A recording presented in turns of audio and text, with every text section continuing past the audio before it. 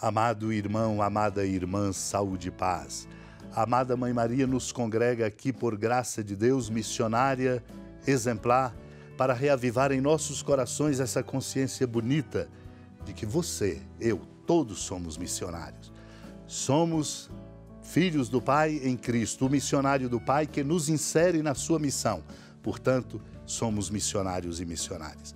E hoje nós celebramos com muita alegria, enriquecendo o caminho deste mês de outubro, mês missionário, com toda a família carmelitana, a festa de Santa Teresa de Jesus, Virgem e Doutora da Igreja, exemplar missionária, que muito nos inspira com a riqueza atual de suas obras, mas com a sua disposição agora necessária para todos nós de sair ao encontro dos que estão distantes e dar a contribuição, modificando o mundo, a vida e qualificando onde nós nos congregamos. Assim foi Santa Teresa. Por isso, do livro da perfeição, Caminho de Perfeição de Santa Teresa, lembro que ela nos ensina. Ensinai-nos nosso bom mestre, diz ela, algum remédio para vivermos sem grande sobressalto em guerra tão perigosa. O único remédio que podemos ter, diz ela, foi nos dado por Sua Majestade. É andar com amor e temor. O amor nos fará apressar o passo, o temor nos fará olhar cuidadosamente onde pomos os pés para não cair em caminho tão cheio de tropeços como é o desta vida. Com isto, Santa Teresa diz: certamente não seremos enganados. Tratai, pois, de conhecer a Deus em verdade. Deus não apura tantas miudezas como nós pensamos. Não fiquemos com a alma e o ânimo encolhidos. Podemos e poderemos com isso perder muitos bens. Intenção reta, vontade determinada de não ofender a Deus é o que conta. No mais, de Santa Teresa, não deixeis vossa alma encurralada, metida num canto. Em lugar de alcançar a santidade, tirareis numerosas imperfeições que o demônio vos incutirá no ânimo por outros lados. Repito de Santa Teresa, não sereis de proveito nem para vós mesmos, nem para os outros, como poderíeis ser. Vede, pois, como mediante estas duas coisas, amor e temor, podemos ir sossegados e quietos para esse caminho. Ela nos prepara para amorosamente acolher essa palavra santa de Deus que nos interpela à conversão. Naquele tempo, quando as multidões se reuniram em grande quantidade, Jesus começou a dizer: Esta geração é uma geração má. Ela busca um sinal, mas nenhum sinal lhe será dado a não ser o sinal de Jonas. Com efeito, assim como Jonas foi um sinal para os ninivitas, assim também será o filho do homem para esta geração. No dia do julgamento, a rainha do sul se levantará juntamente com os homens desta geração e os condenará. Porque ela veio de uma terra distante para ouvir a sabedoria de Salomão. E aqui está quem é maior do que Salomão. No dia do julgamento, os ninivitas se levantarão juntamente com esta geração e a condenarão.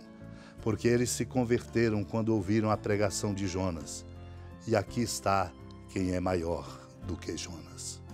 Amado e amada de Deus, Santa Teresa, festa hoje celebrada, fecundando e iluminando de modo exemplar o caminho nosso do mês missionário, nos diz que precisamos de amor e de temor neste caminho.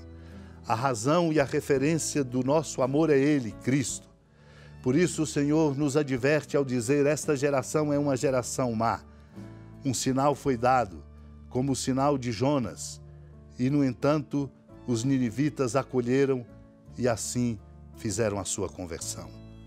Se nós bem prestarmos atenção e nos fizermos íntimos e próximos dele, Cristo que vem ao nosso encontro, que é um sinal maior do que Jonas em Nínive, nós encontraremos o caminho da verdadeira sabedoria.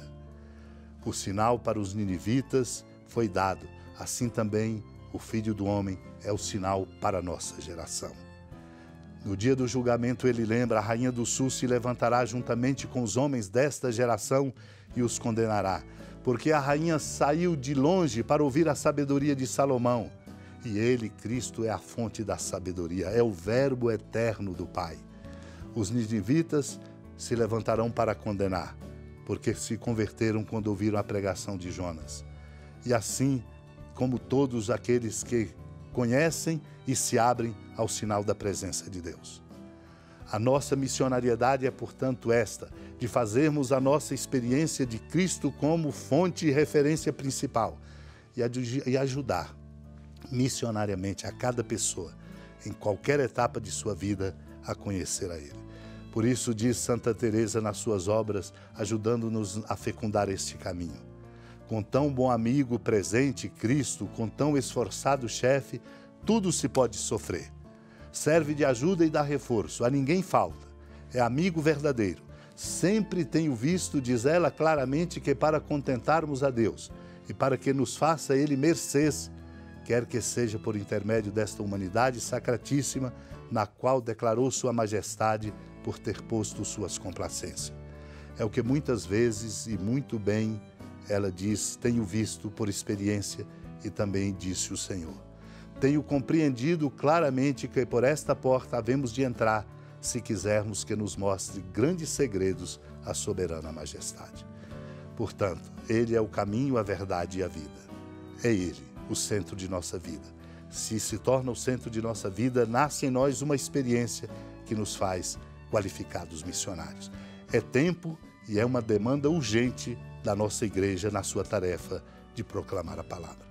Supliquemos a Deus a graça dessa proximidade com Cristo pela ação do seu Espírito, inspirados no exemplo admirável da amada Mãe Maria. Supliquemos. Senhora da piedade, Mãe Virgem do Cristo Deus. Lembrai-vos, ó piedosíssima Virgem Maria, que nunca se ouviu dizer que alguém daqueles que, tendo recorrido à vossa proteção, implorado a vossa assistência e reclamado o vosso socorro, tenha sido por vós desamparado. Animado com igual confiança, vós recorro, ó Virgem das Virgens, e gemendo sob o peso dos meus pecados, me prostro a vossos pés. Não desprezeis as minhas súplicas, ó Mãe do Verbo encarnado, mas dignai-vos de as ouvir propícia e de me alcançar o que vos peço. Amém. Feliz padroeira de um povo a lutar, a gente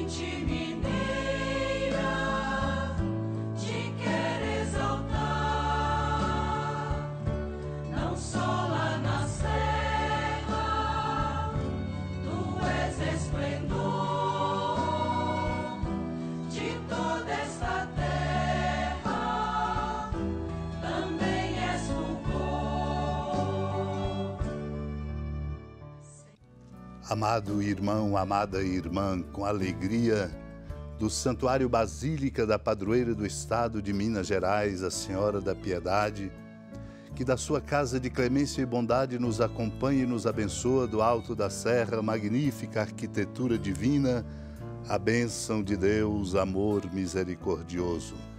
Pai, Filho e Espírito Santo, desça sobre sua família, proteja sua casa, sustente sua vida, fecunde o caminho missionário de nossa igreja, nos encha de sabedoria e permaneça conosco para sempre. Amém. Feliz padroeira